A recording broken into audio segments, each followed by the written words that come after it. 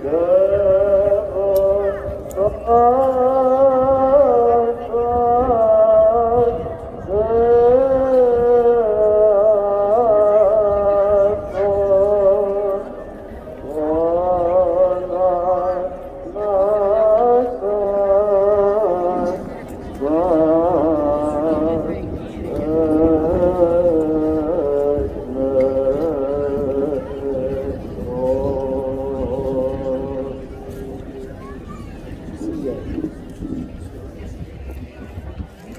Αυτή η νύχτα του Μεγάλου Σαββάτου μπροστά στο κενό μνημείο που φιλοξένησε για λίγο τον ήλιο της δικαιοσύνης, τον Κύριό μας Ιησού Χριστό. Στεκόμαστε έκθαμβοι μπροστά στο Άδειο Μνημείο μαζί με τον Πέτρο και τον Ιωάννη, τους μαθητές του Χριστού, μαζί με τις μυροφόρες γυναίκες που έφτασαν λίαν πρωί της μιας των Σαββάτων για να αλείψουν με μοίρα και δάκρυα το σώμα του διδασκάλου τους. Ακούμε και εμείς όπως και εκείνη τη φωνή του αστραπόμορφου αγγέλου τι ζητείτε τον ζώντα μετά των νεκρών, η γέρτη ουκ στην όδε, είδε ο τόπος όπου έφυγαν αυτόν. Η Ανάσταση του Χριστού είναι το αραγές θεμέλιο της πίστεώς μας, το κήρυγμα και η εμπειρία της Εκκλησίας μας. Δεν είναι ένα θέαμα εντυπωσιακό που επιβάλλεται δυναμικά με εξαναγκασμούς και αναιρέσεις της ελευθερίας του κάθε ανθρώπου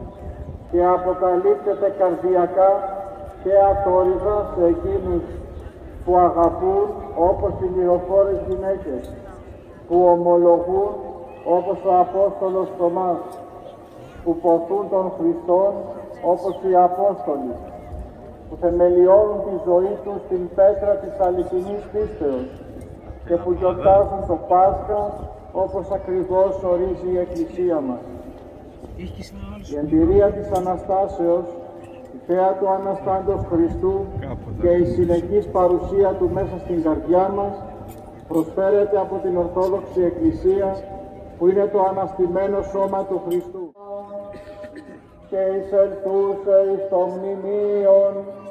είδων νεανίσκων καθήμενον εν της δεξής περιβεβλημένος στολήν λευκή και εξεθαμβήθησαν ο δε λέγει αυτές μη εκθαμβήστε Ιησούν ζητείτε των Ναζαρινών των εσταυρωμένων η γέρθη που και στην όδε είδε ο τόπος όπου έφυγαν αυτόν. Αλυπάγεται, είπατε τις μαθητές αυτού και το Πέτρο, ότι προάγει μας στην Γαλιλαία, εκεί αυτόν όψεστε, καθώς υπενημή. Και εξελθούσε ταχύ, έφυγον από του μνημείου, είχε δε αυτάς τρόμος και έξαση.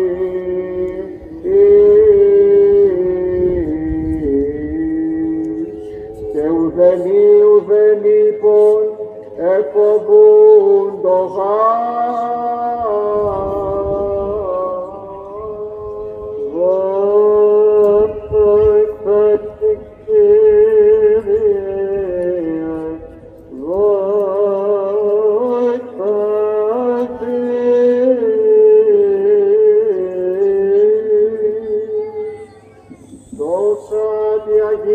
Αγία και ομοσίο και ζωοποιό και αδιαιρέτω τριάδι,